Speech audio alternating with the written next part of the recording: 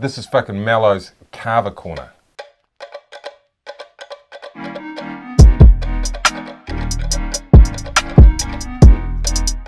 Hey, what up? It's your boy Melodownz, and today I've got a very special guest on Kava Corner. This guy is one of the most well known journalist reporters. Personally, my favorite TV personality. I'm not even gonna lie. Um, he just tells it how it is, no filter, and that's what I love him for. Patrick Gower. Yeah. Welcome to Kava Corner, man. Yeah, it's great to be here. I'm yeah. gonna be drinking Kava or Patrick Gower on Kava Corner. Come on.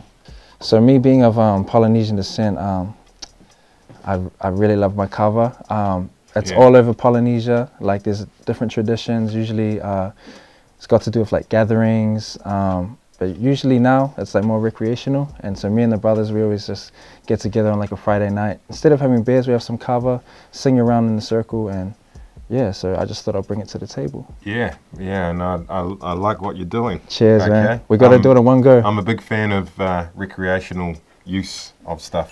Okay. Yeah. Let's go.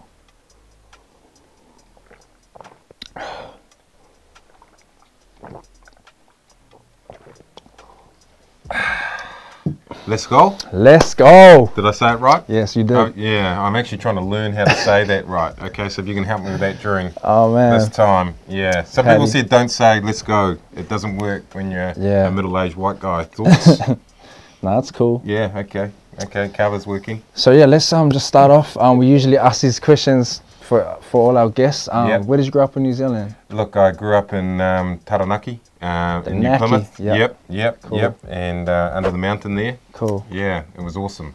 Um, um, it was the best. It was the best upbringing I reckon. Mm. You know that anyone could have um, with my mum and dad and, and my sister, and uh, it was a cool life. It makes me smile even thinking of it. It's Nice. not, not just the kava.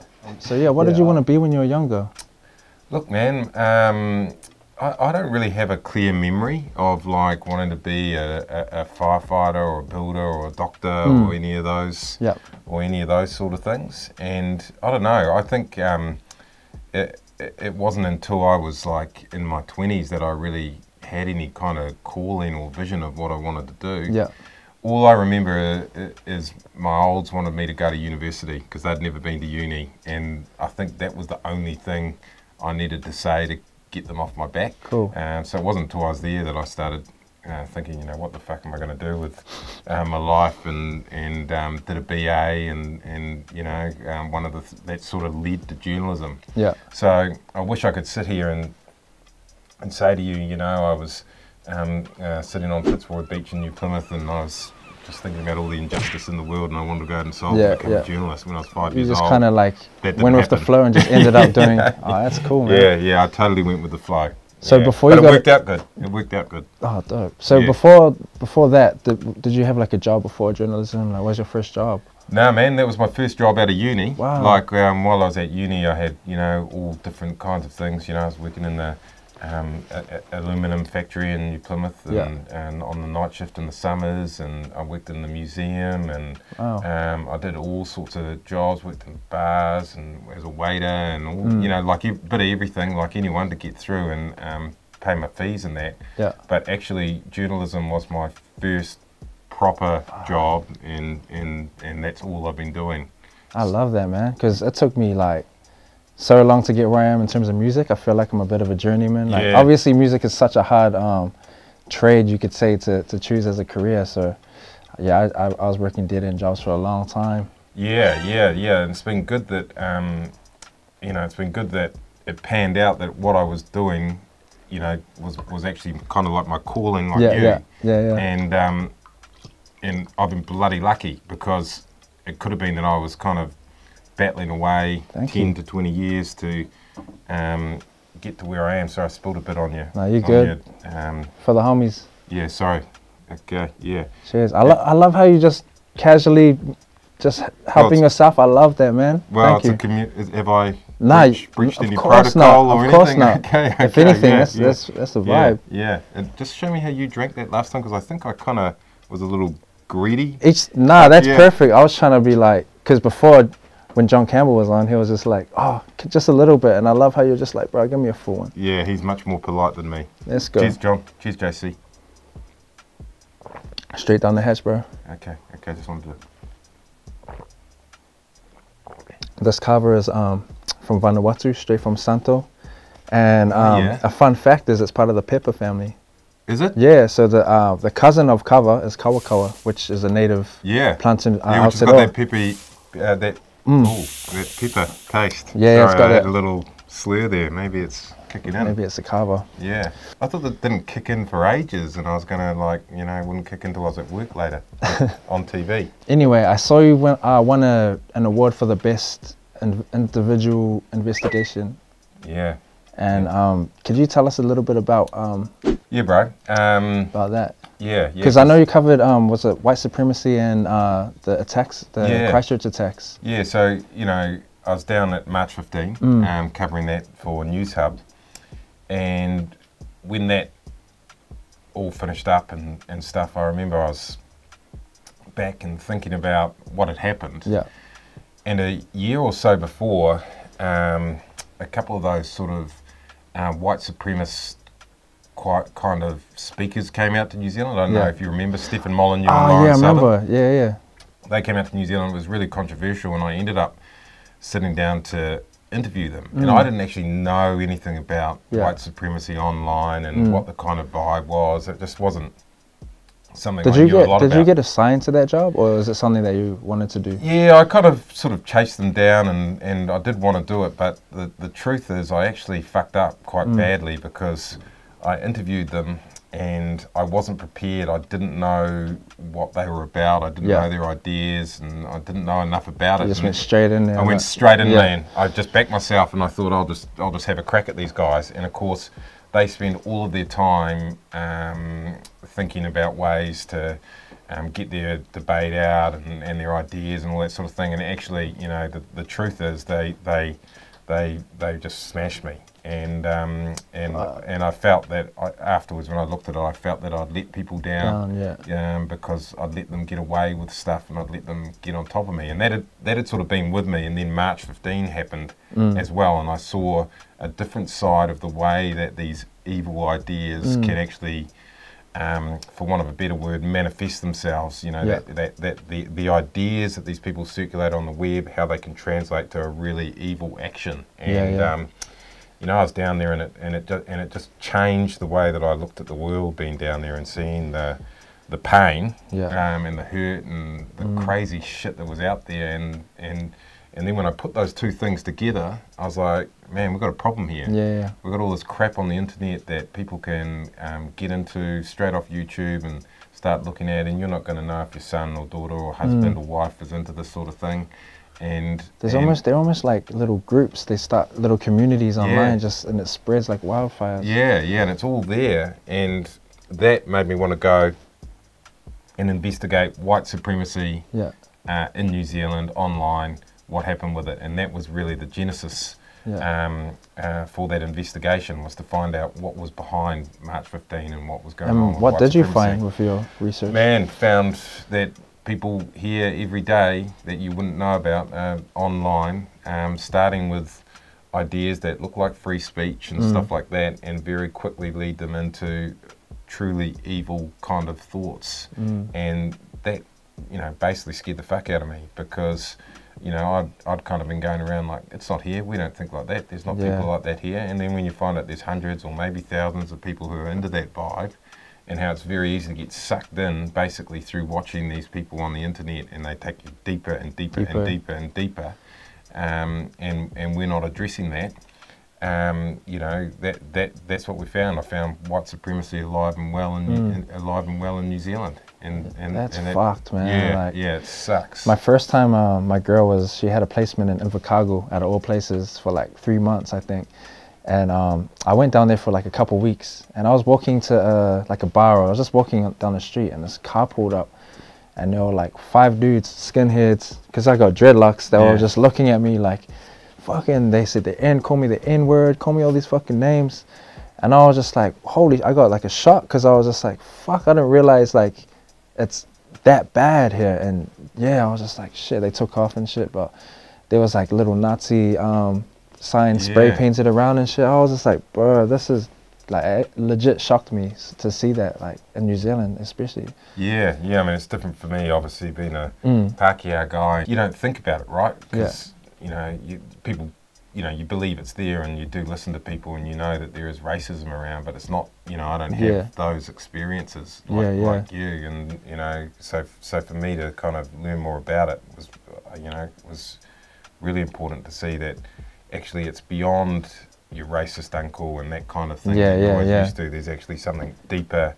more evil, and it's online, and you've got no way Yeah. of telling. You know, these guys don't go to a clubhouse down the road; they do it all online. they Yeah, and they've got groups around the world doing Yeah, this shit. It's yeah, like, yeah. It's just like it's just like crazy, and you know, it just really it just really changed things for me, bro. I mean, I didn't really know a lot Mm. um, about um, Islam or Muslims, Yeah. or, or you know, I knew a few, but I Yeah, didn't yeah. really I didn't really know a lot, and and I definitely didn't know what a lot of them go through in New Zealand as well. You Mm. know, with with the Islamophobia and all that kind yeah, of yeah, thing yeah.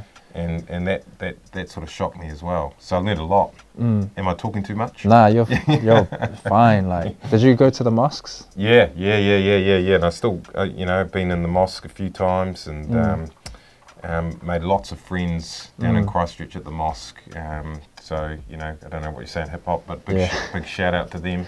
Is that? Is Yeah. That, have I pulled it off? Yeah, because um, Big shout out to the brothers and sisters at the I was, mosque. uh, that, how did that sound?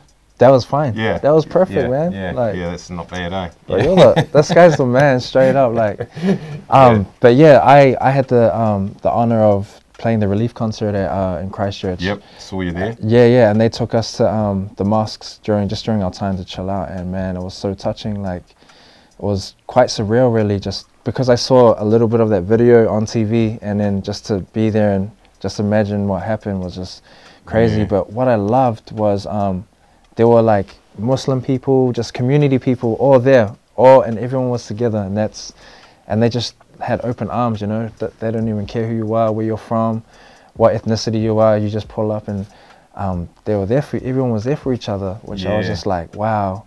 I think that's the overwhelming kind of feeling that I have when I go down to the Al Noor Mosque in Christchurch. Is it is such a welcoming place. Mm. Actually, you know, people are there just to um, just to worship. You know, which is a, which is which is their right. And then to know that you know that guy walked in there and did what he did is just just so random. Yeah, you know, a- just, it's just like man, that evil, and that's what you know. That's what really fucked me up the most, bro. Was just hearing over and over the different stories from the different people, and you know, um, the three-year-old kid um, getting killed, Yeah. Ard Ibrahim, and that, and talking to his brother and his family, and you know, that just really, you know, sounds.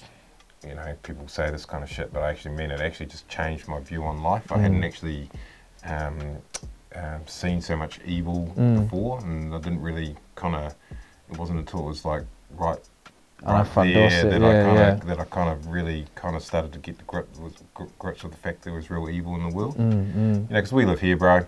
It's great. We're in the bottom know. of the map, you know. we Yeah, got West yeah. Coast beaches like five Yeah. minutes away, and Yeah, yeah, because I do like there. There's shit that happens like overseas all the time, and you hear about it, and because you hear about it so much, it's almost like a. It's not normalized, but it's just like, oh, is that that happened again or whatever. Yeah. But when it happens in your backyard, it yeah. really it's like does. always feels like somewhere else. Like we've got our pro- problems here, Yeah. you know, and that. But it, it, yeah, it always seems like things were further away, and then when it like actually came into our country, you know, and, and you, you sort of know it's here. mm, does um, change your perspective. Yeah, yeah, change my perspective. That's for sure. And saying that, let's have a drink. Yeah, yeah. Hey, so I'm just going to change up my style. Yeah, yeah, what's your I'll style? just tell you why. Yeah, cool. The, the peppery taste. Yeah, yeah. It's quite powerful, and um, the the mouthfuls. It's too slow, you know. Kind of, I, I want to go down and down the hatch and Oh, go shit. again. That's Um, what I did the first time. Okay, I'm with you with that one. Yeah, yeah. Let's go.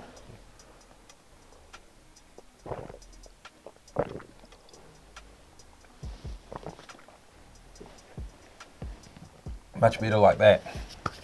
I'm Yeah, not gonna lie, bro. You're straight yeah, up gangster, bro. It is quite peppery, isn't it? Yeah, it is. Wow. How you feeling? Good. Cool. You? I'm good, man. Yeah. I'm yeah. just happy that you're here, to be honest. Who's someone you've always wanted to interview and why? Look, um, Snoop Dogg. Oh, Yeah, uh, I've been trying to interview him, you know, for my weed docos and Mm. everything like that. Um, I don't know if he'll see this in hip hop, um, you know, in the in the hip hop world. But uh, if you do see it, Snoop, obviously keen for an interview or even come out here and have a kava session. Actually, you probably have to do it over Zoom. Yeah, Uh, we might have to have another session as well because it's yeah, Snoop but- Dogg, but I'm done with that too. Yeah, but we, you know, I'm sure you could jack it up over Zoom or something. But hey, you know, look, I'd like to interview Snoop. Um, I think it would be awesome to get his views on, on weed and Mm, uh, the mm. upcoming referendum, what it can do for New Zealand, Yeah, what it's done for him. And you know, you'd know more than me, uh, way more uh, about his music. His music's been amazing. What he's done for other artists. yeah. Uh, um, also, I'm a Lakers fan, Oh, cool. uh, so Yeah. Snoop. Dope. Yeah, so you know, maybe he could get me courtside one day when coronavirus is over. You know, that would sort of be a great end for the interview. But yeah, um, just love to sit down with Snoop. You know, my dream would be to be in his studio over there. He's just blazing away on weed. Um, Yeah. I'm asking him for all his views, and then maybe he, you know, this is going to sound a bit random, like I've been on the kava, but maybe he's like, "Hey man, Paddy, is that your name? Yeah, yeah, Paddy." And Snoop would be like, hey man, do you want to like lay down a track or something? And and then Snoop's like, we've got some producers here. They're just finished up with um, the next big thing, but you just go in there. And then I'm like, oh, you know, if you've got time, Snoop. Yeah, yeah. And we kind of like head in. So the interview's over, and he's just like, right. And then him and I just start coming up with some lines. Wow. Okay. Yeah, and then yeah. bang, um, we've got a sample or potentially even What a would, the, single. what would the song be called? What would the single be called? well, we'd have to come up with that at the time, but I'm definitely sort of thinking it'd be something about some of the key themes, and it would be legal, you know, about legalizing weed. Yeah, yeah, cool. Um, um, but also making an informed decision. Mm. I think we'd probably call the song um, "Informed Decision." Oh, Yeah. informed decision. Yeah, Yeah. informed decision about legalizing weed. Check out the vision. It's all you need. Fucking write that down. Bars. Insane. saying let's have a drink, bro. Well, we should probably be a little careful given the last couple of answers, Yeah, yeah. shouldn't we? You- But You're good. hey, when in when in Vanuatu, I smile a lot. That's Love something you didn't know. When I'm getting a little on the tipsy side. See you at the bottom, brother. Alrighty. I'm feeling relaxed now, bro. Yeah. Yeah, I'm feeling a lot more relaxed too. Big respect for that documentary you Yeah. did. Um, I really fuck with it. Um, just I can really relate because um, back when I was a child, my mother nursed my grandmother. She had terminal cancer. Um, Yeah. And like back then, I was kind of too young to understand about referendums and marijuana and what the health benefits of that can can be. Um, but I'm just saying, man, like, yeah, I, I really respect your work, and that really kind of made me relate to back when my grandmother was going through pain, because I, I wake up every day and she's on the couch just like, oh, it's just kind of it hurt me because I was going to school trying to have my fun. I come back home and my grandmother's dying on the couch, so it's kind of like. Um, I wish we did have those options if we if there were a possible thing back then.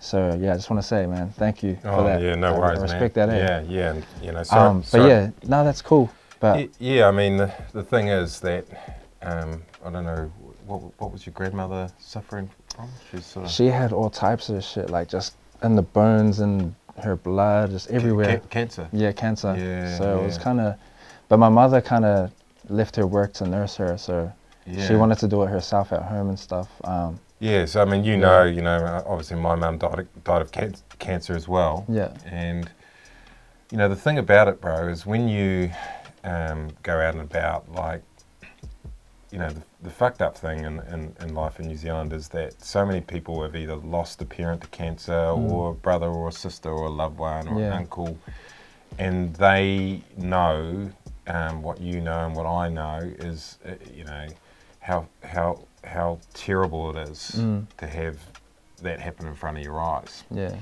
and you know that's why I think and, and you know the documentary resonated with a lot of people was actually you know a lot of people were sitting there going yeah I wish we'd given that a crack you know because we'd give anything a go Mm. and actually you know when you talk to people weeds really work for them um, when they're in pain and there's you know a lot of scientific evidence as well as just the general fact that actually it's a plant that grows out of the ground, and these people are dying, and you might as well try anything. Yeah. Um, you know, especially something that's got hundreds and hundreds and hundreds of years of evidence of helping people. And you know, that's where I come from. It's Mm. like, you know, wh- wh- wh- what's wrong with this country when we've been, you know, like Kava, um, we've been denying people access to something that grows out of the ground when they're dying. Yeah. Like, you know, and me, you can go down the corner store and get a 40 ounce for like Oh, 30 bucks and yeah, drink yeah. that and feel violent or. Man, you know oh I yeah, mean? yeah. I mean, you, you know, or, uh, uh, uh, you know, you can go and get all sorts of opioids and drugs and different Mm. things that have huge side effects, um, massive sort of chemicals, and and and you know, until recently, you know, medical cannabis is in now, which is good. Um, people still can't get it, by the way, you Mm. know, um, but it is kind of legal. Um, we've we've held that back from people, and and I just reckon it was just fucking bullshit Yeah. and it still is. Everyone should be able to get it easy, easier than they can now. Which you know you got to go to the doctor and pay heaps for it, and etc. etc. That's going to change. Yeah. Um, but yeah, that's where I'm at with medical. You know, help your grandmother, help my mum, help Yeah. everyone else's grandmother and mums. No brainer. And saying that, should we have a drink? Phew.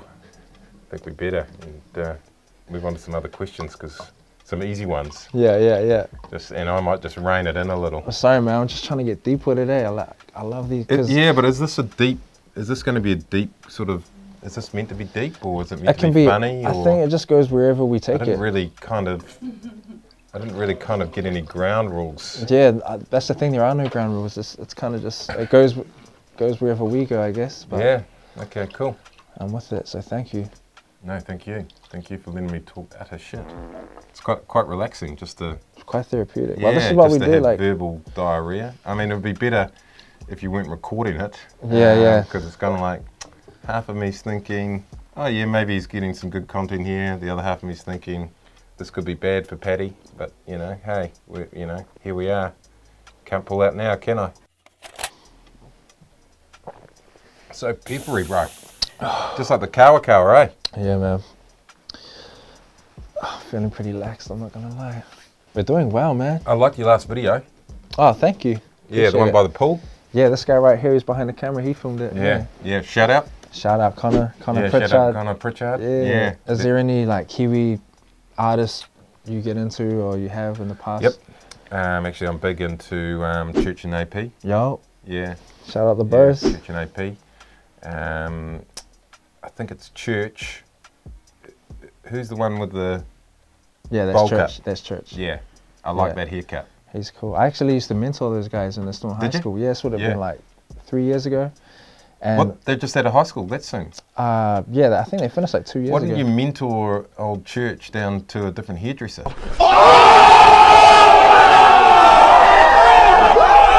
I'll definitely pass that on. No, no, no. Actually, like his hair. Uh, that's what drew me to them. Yeah, it's yeah. like I was kind of like hypnotized watching, um, watching them because I was like, shit, that's a is that what's that haircut um, that that guy's got? And you know, then I'm like looking at it, and then all of a sudden the music started to take me, and that led me into it. Yeah, yeah. But it was sort of like, is that what the is that what young people are wearing these days? Like, who cut it? You know, what did they what did they did Who they just put water in it and and, a, and use a ruler along there or something? I don't know. He might have a sponsor. I'm not too sure, but I'm definitely gonna ask that question when I see him next. Yeah, it's just a little bit of feedback. Ladies and gentlemen, boys and girls, it is time for that kava buzz.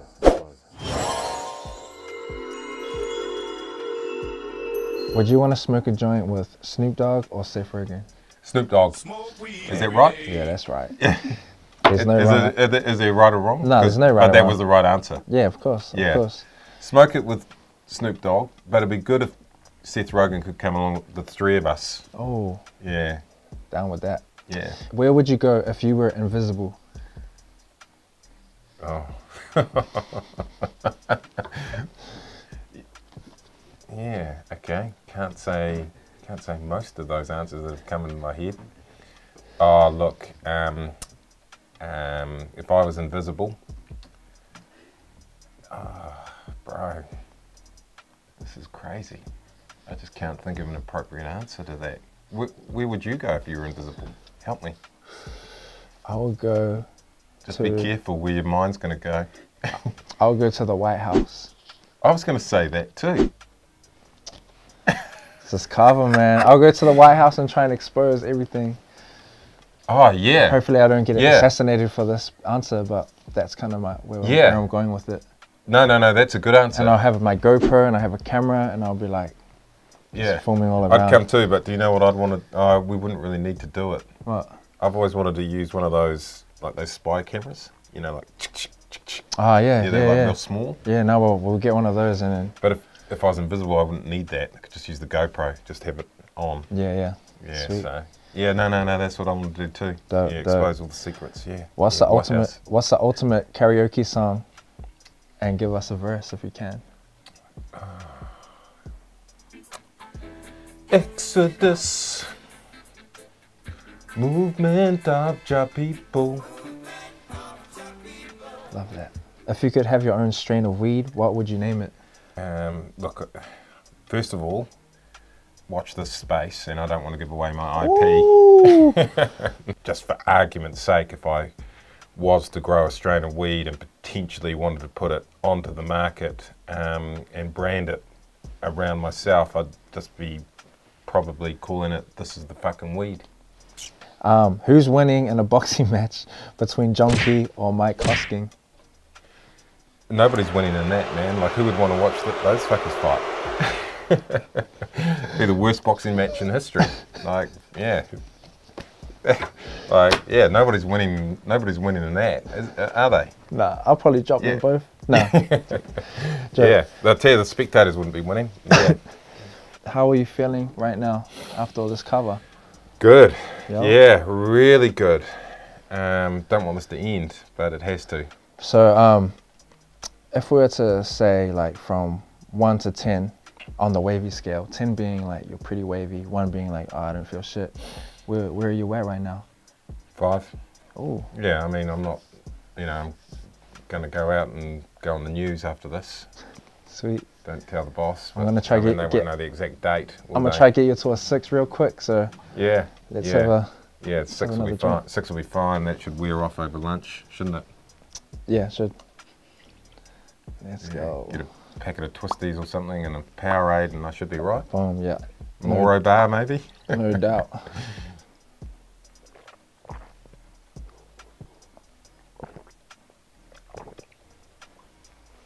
Yeah, what? I'm not gonna have any pepper on anything for a little while. hey, But yeah, Paddy, man, it's been a pleasure. Um, I love your work. Keep keep being you. Keep telling the truth. Keep being the man. yeah. Thank you. Before we finish this up, is there anything you wanted to tell the people that will be watching this? This is fucking mellow. This is Melo's fucking kava.